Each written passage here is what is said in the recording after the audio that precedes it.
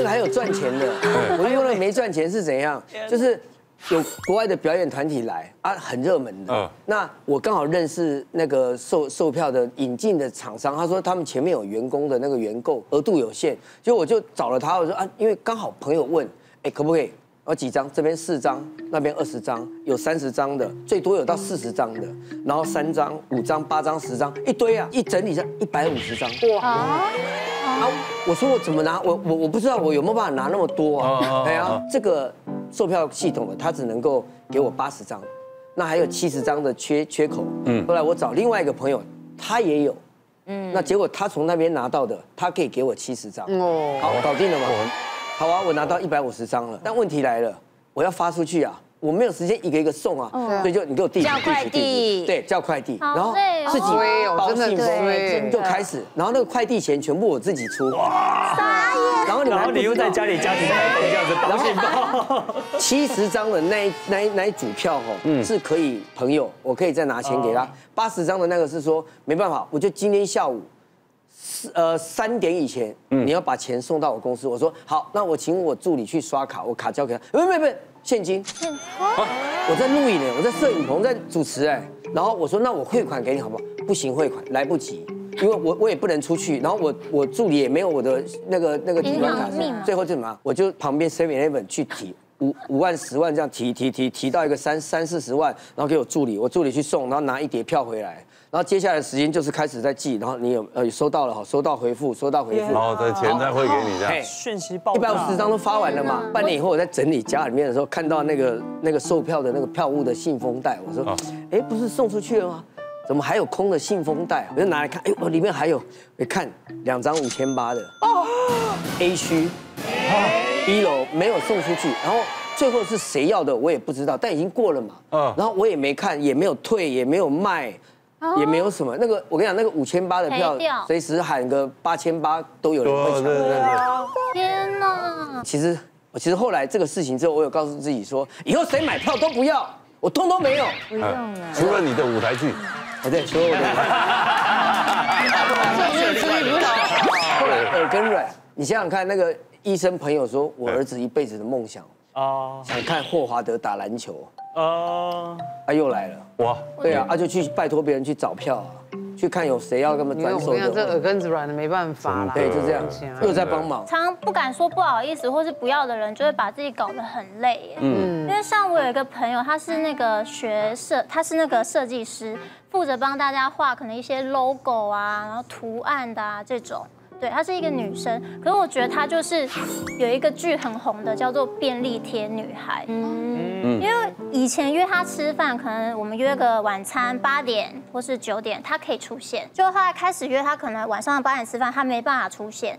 然后我们这群朋友想说啊，可能她最近真的太忙了，没有办法来。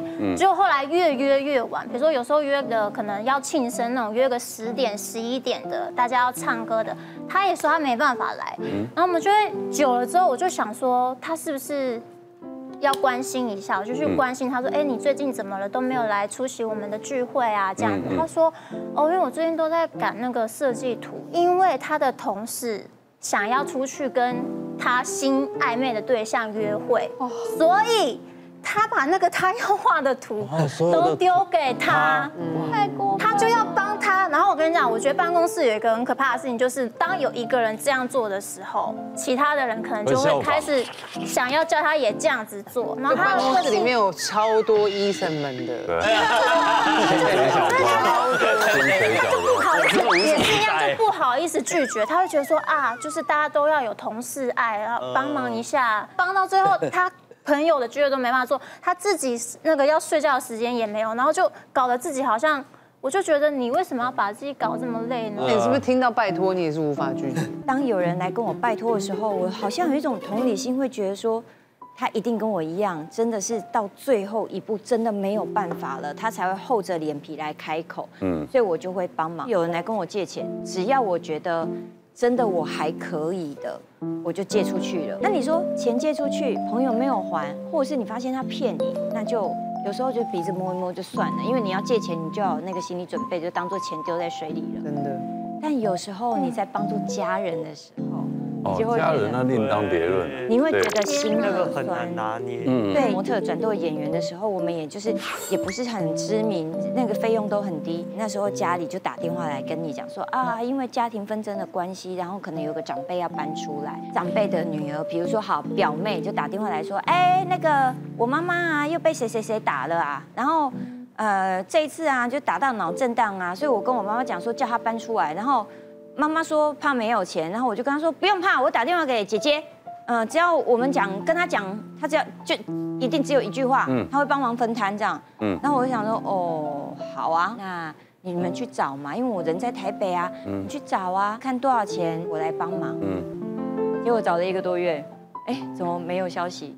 然后后来我姑姑才跟我讲说，阿伯啊，啊我都嘛唔知要去对吹，我不未晓啊。嗯，我要紧啊，我搁豆豆啊吹啦。然后我后来想说，好吧，那我就回去。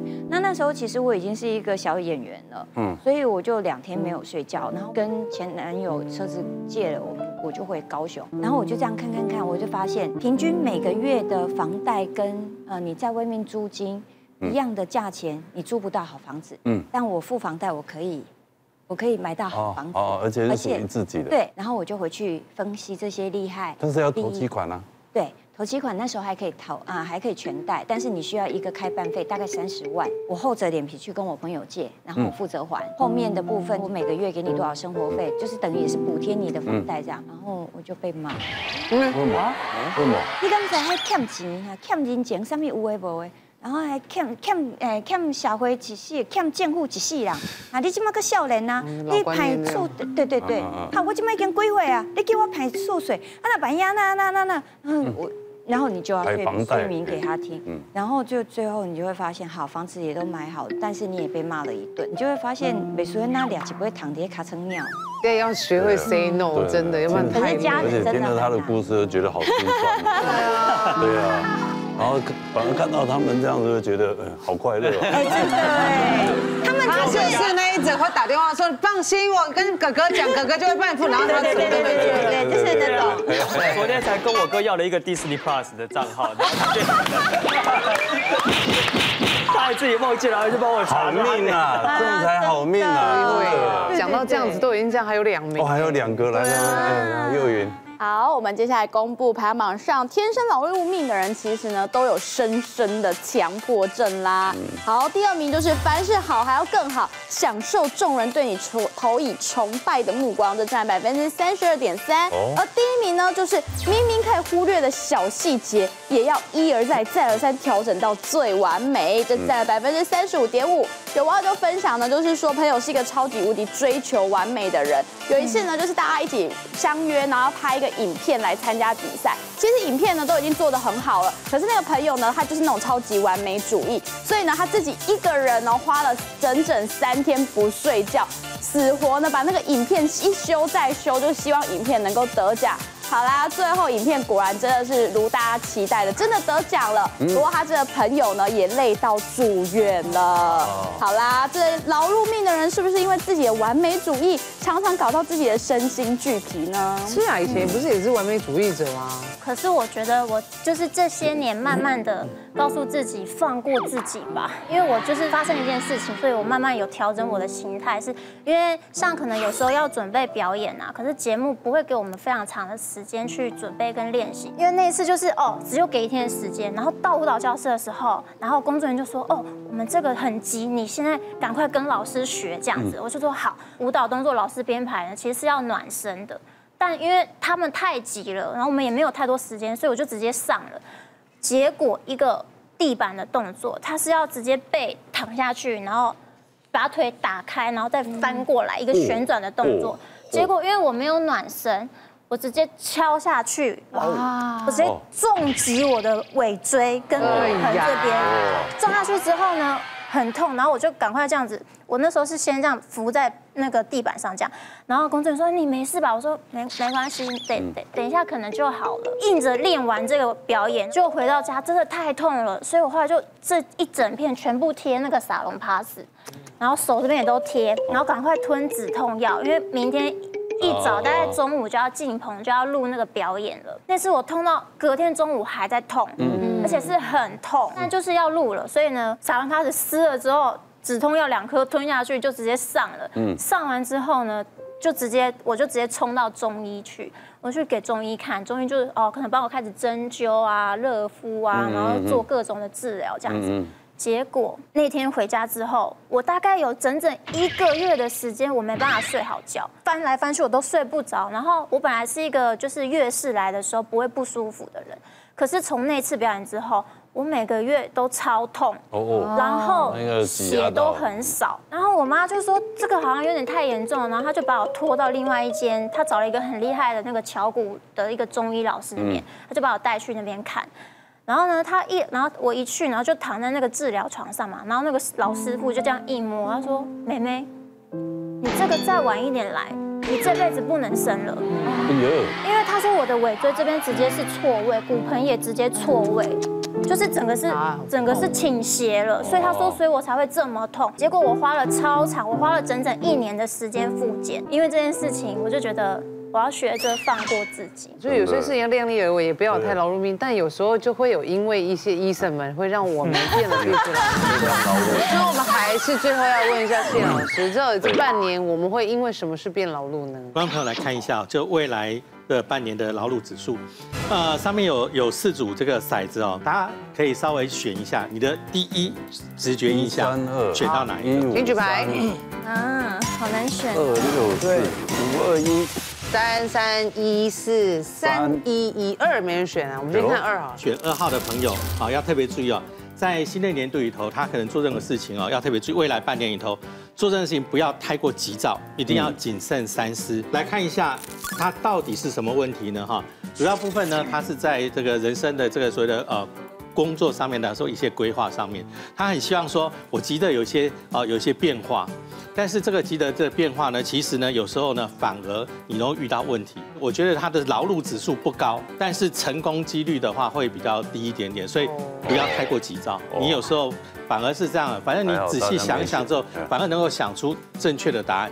那有时候就是你急救章的时候呢，我急啊赶快做变化，那其实变化反而诶不容易成功。了解，好，然后开始试，哎，这个朋友要特别恭喜你哦，这个劳碌指数非常好，因为他这个凿石哦，他其实没有那个想法，我凿这个石头只是想要看凿出雕塑一个东西出来，没想到反而得到了珠玉哈，然后淘沙我是淘牙，没想到淘到珠子，所以基本上选到这个朋友要特别恭喜是他。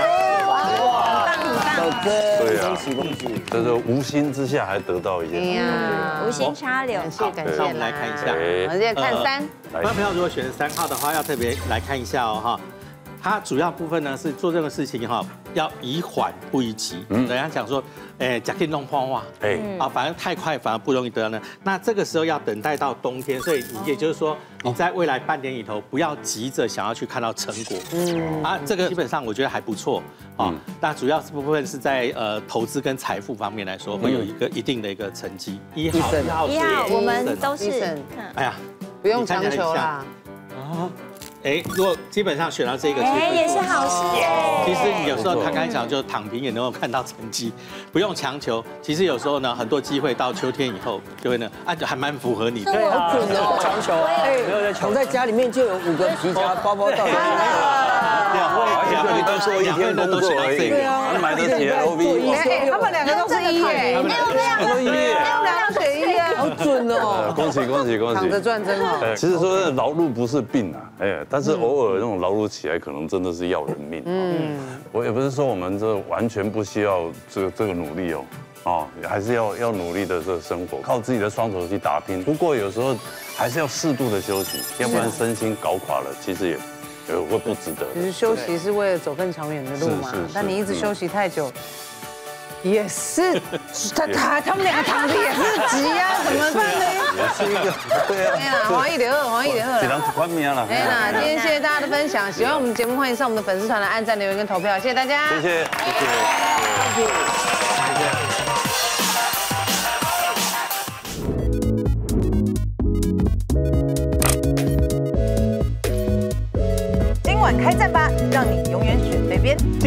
晚开战吧，让你总是被称赞。新形态互动式综艺节目，快快来订阅，按下。小铃铛哦。